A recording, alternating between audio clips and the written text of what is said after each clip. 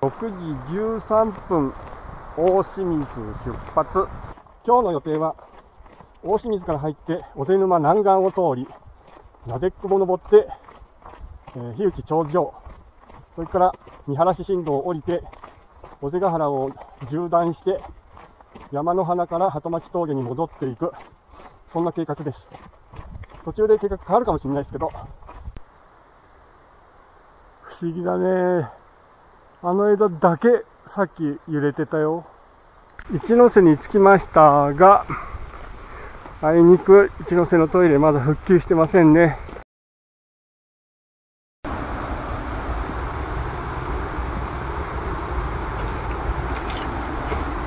陥没箇所。穴塞いだね。埋め戻したね。はい、ただいま7時19分。岩清水着きました。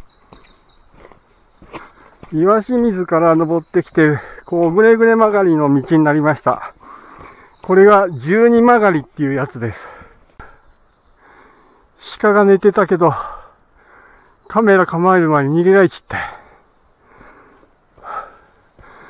足、足音が一つだけだったから、一頭だけだね。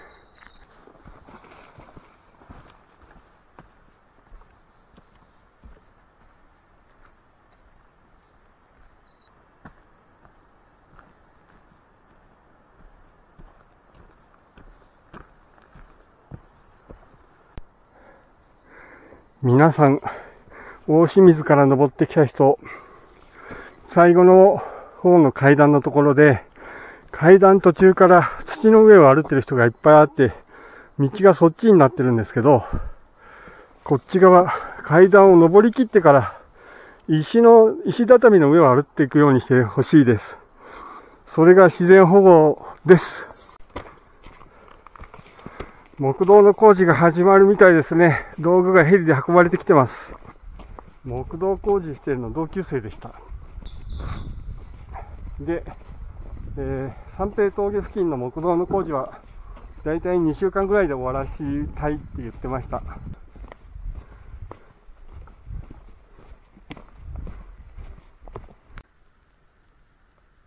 残雪期。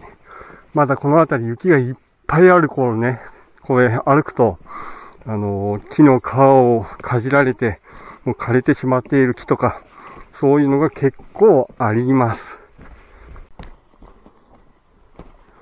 もう間もなく三平下なんですけど、滑り止めの板がところどころあるから、それを頼りにすれば、すってんころりんがないような気がしますけど、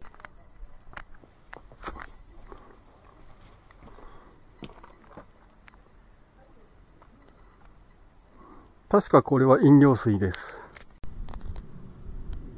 ただいま8時13分。尾瀬沼南岸に出発。三本からまず見えますね。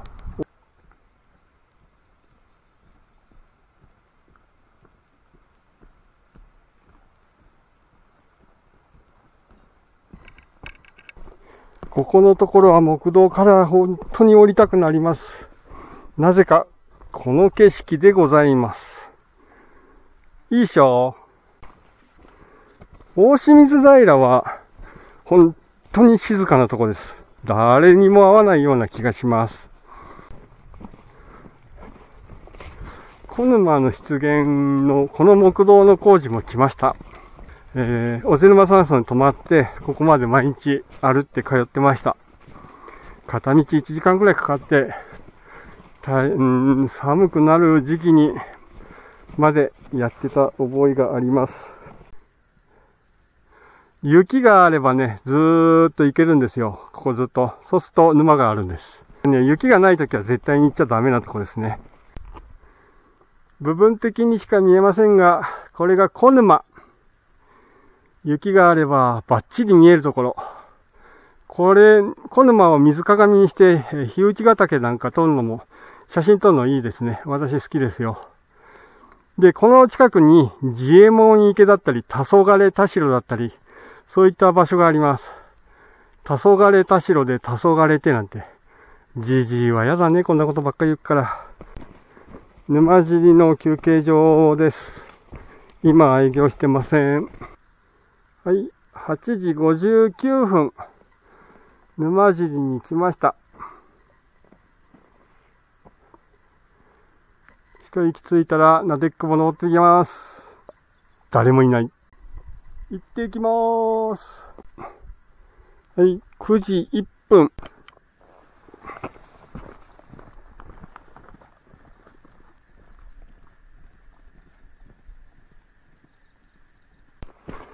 水は出てないですけど、沢っぽいところを登ってきます。ところどころこういう倒木があります。なでっくぼ、久保の中、入りました。これから久保なりにずーっと登っていきます。1時間くらい、こんな感じのとこ登ってきます。おう熊一号。うーん、もう盛り終わったかな。これ食えばうめえんだけどな。アメちゃんブーストをします。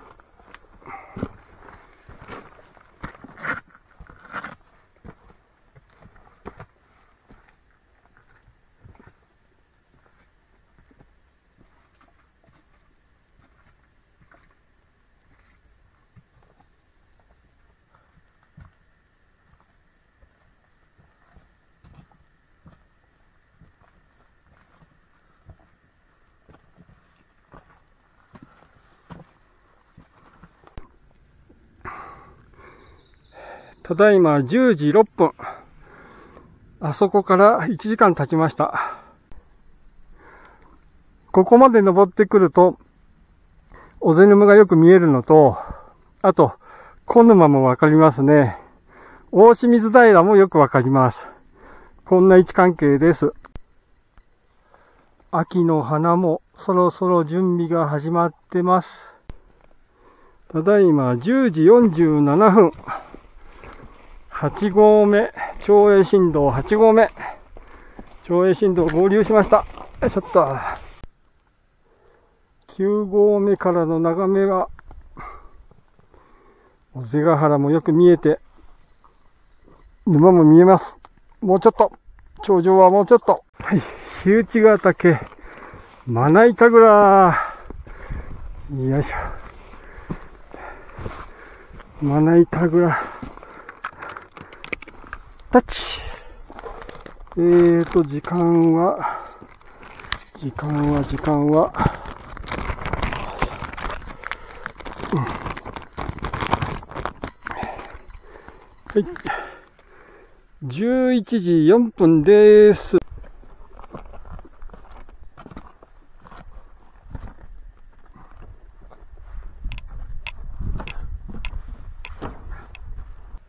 洋館ブースト。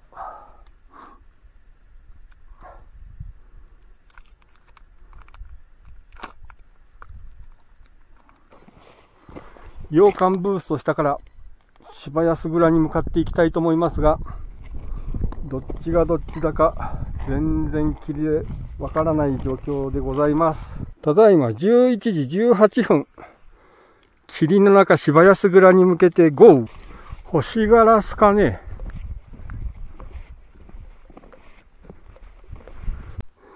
11時32分、芝安蔵。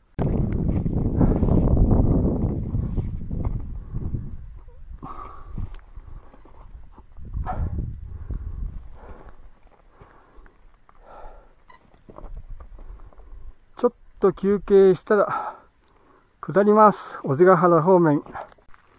ただいま11時38分。芝安倉、芝安倉から小瀬ヶ原に下山開始。芝安倉降り始めたら雨が降ってきました。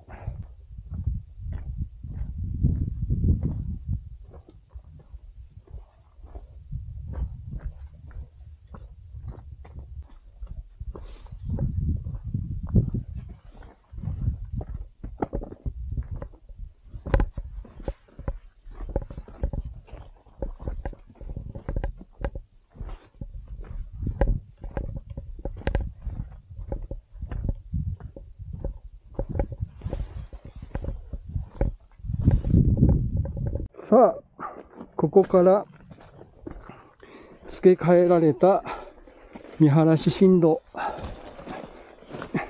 多分以前はこっちだったんだけど、沢がね、崩れたっつうんで、こっち付け替えの道ができました。この道の、ドロドロがどのくらいかわかんないので、トレッキングシューズじゃなくて長靴履いてきました。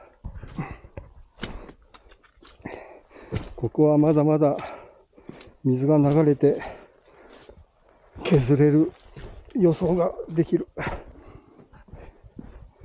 見晴らし振動が再開して、その年はね、あの、笹を切っただけで笹の根っこがすごい滑ったんですよ。本当におっかなかった。ここの斜面なんか特におっかなかった記憶がありますが、この階段のおかげでゆっくり安全に降りることができます。これは本当にありがたいです。ありがとうございます。助かります。ただいま、12時57分。え見晴らし振動分岐、見晴らし方面に行きます。水の話ですけど、えっとね、1リットルポカリスエット粉末のを作って持ってきました。大体飲み切っちゃったかな、見晴らしつく前に。で、もう一本、えっと、自家製の蛍光補水液を作ったんです。1リットル。だけど、ちゃんと分量を測ってやんなくて、適当にちゃちゃってやったのね。塩を入れすぎて、しょっから食って、ダメ。現在13時6分。見晴らし到着。降りてきて振り返ってみると、日内ヶ岳いい山だな私物山も最高1時34分、竜宮出発。やめから降りてきた人が3人。うん。誰もいないと思ってもいるんだね。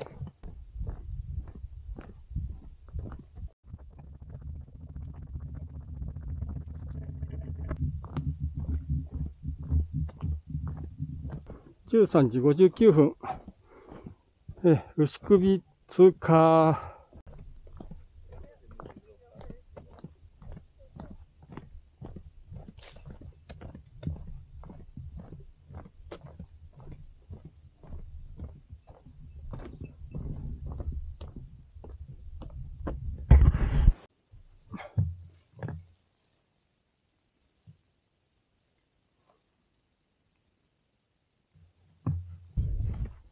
おにぎりブースト完了しました。これで山の花、鳩町峠まで歩っていける。今日登ってきた日内ヶ岳がこんなに遠くになりました。またいつか登ってみたいと思います。で、こっちは私物山。これもまた今度登ってみたいと思います。ただいま2時35分。山の花到着。テントサイト、また再開したらしいっすよ。熊があんまり出てこないから安全でしょうということで、テントサイトオープンしてます。キャンプしに来てください。同じコース何年も前歩きました。赤いちゃんちゃんこのシーズン過ぎちゃうと、猟友会なんかもっとずっと上の先輩もいるんで、まだまだ私なんかひよっこの部類かもしんねえけど、まあ、体力だけは落ちないように精進しねえとね。もう間もなく、鳩町峠に着きます。この動画がいいと思ったら、グッドボタン、チャンネル登録ぜひお願いいたします。3時18分です。うん、あれ？今、3時20分。ああ、出ちまった。3時15分。3時15分が出たから4時半まで頑張って待ちます。はい。